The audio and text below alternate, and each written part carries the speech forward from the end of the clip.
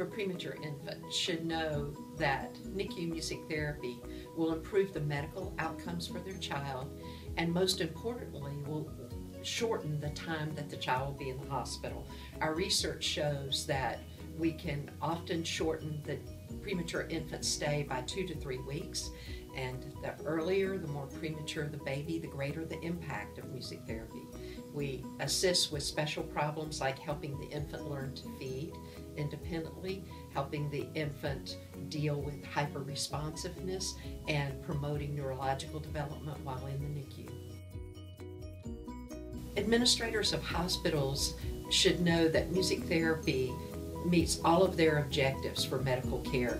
The research shows that music therapy improves the medical outcomes for their patients and in addition raises patient satisfaction with general components of hospital care one of the most important factors is it's highly cost effective and it will reduce the cost of medical treatment while improving care. So music therapists deal with very specific referrals for very specific symptoms that patients are having in the hospital and much of what they are doing is reimbursable.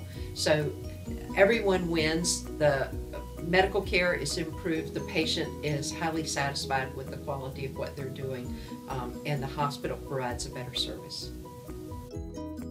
If music therapists are interested in providing care to premature infants, they need to know about specialized training in NICU music therapy.